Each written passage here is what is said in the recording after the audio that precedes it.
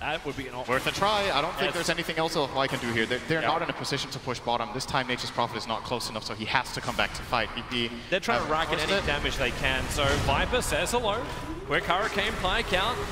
4.3k to get through. Burrow Strike, Rod of Atos onto the partner. Now Monet comes in. Linken's Sphere of his is triggered. Not going to commit the BKB just yet, but Super's dying too quickly. No one knows he needs one more attack, but Super's got the range. Retreat back out. They're trying to reset the position here, Virtus Pro, and not fall into Monet's Chronosphere. They cannot let that happen. And also, LFY don't want to commit onto an Aegis the Immortal Viper. It's too much to go on. So yeah, you can cold feed him up, but he'll stand his ground. Continue to chip away. Monet finally coming in, finding some time locks. Getting rooted to the ground. Thanks In the center. Viper is dropping low, and here's the Epi